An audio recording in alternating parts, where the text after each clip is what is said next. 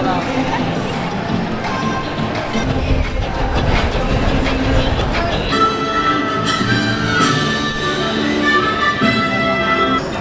guys, welcome back to my channel. Today I am bringing you information on the locker situation here at Universal Studios and Islands of Adventure. Um, the lockers are paid for and free. We're gonna break down where to use them, how to use them, and which one you possibly might need for your upcoming trip to Universal Studios. Let's go. Okay, so the first set of lockers that you are going to want to look into if you have a larger bag is as you enter the park, you're going to make an immediate left. Over there, you will see a sign for restrooms and lockers, and it's actually towards the exit so you're going to almost come in to almost go back out which I know sounds silly. Uh, but these are really great size lockers. If you have an overly sized large bag that you just don't want to carry around all day they have options for large lockers that are $12 for all day and they have family lockers $15 for all day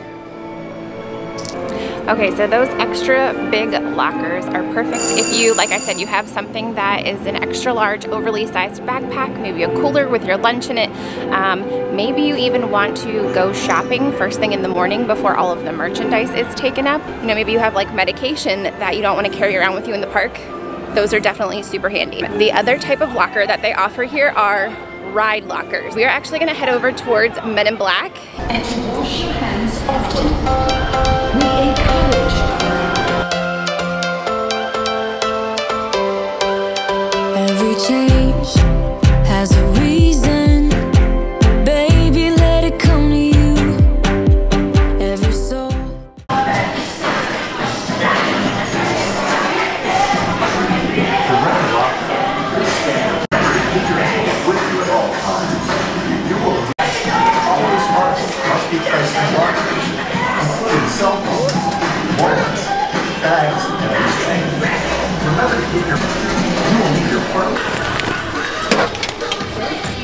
The way the lockers work at the ride attractions, like I said, they are completely free. And I will put the dimensions of those free lockers down in the description box below for you. Um, I have a, I don't know, I guess I would say a medium sized backpack.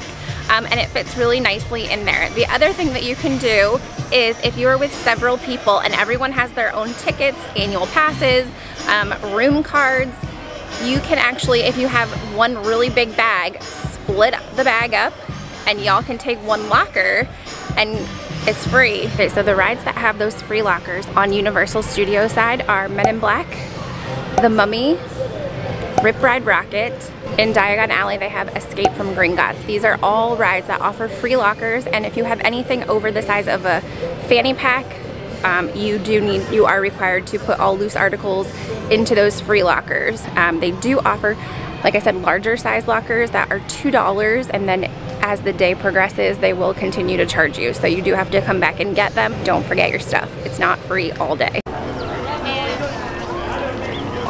went back up 25 minutes and it went on.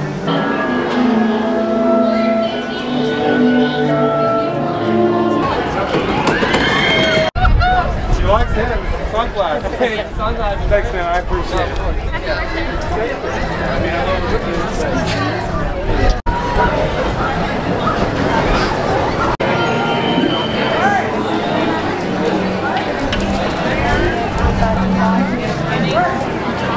soon. Thank you guys so much.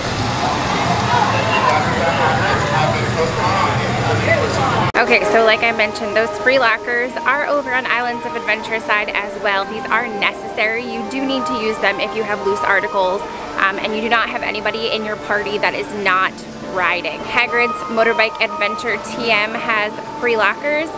Forbidden Journey, Harry Potter and the Forbidden Journey has free lockers. The Hulk um, and Velocicoaster. Both of those you actually walk through metal detectors, so not even your phone, nothing can come on the rides. It is really important that you are making sure to get to those lockers. Also, if possible, give one person in your party all of your items for the entire party that you're traveling with because the lockers get very congested and it is just not a pretty situation sometimes when it is very crowded. Um, there's a lot of shoving and the, the, only because the lockers are very tight. They've made them that way specifically.